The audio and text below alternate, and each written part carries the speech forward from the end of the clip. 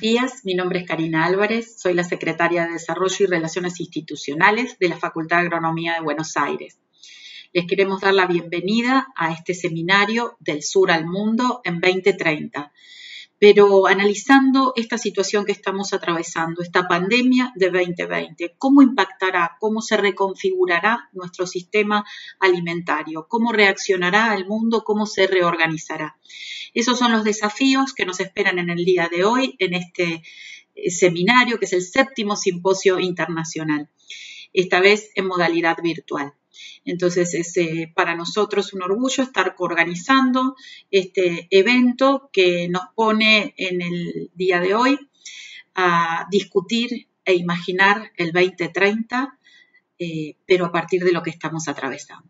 Bienvenidos y gracias por acompañarnos.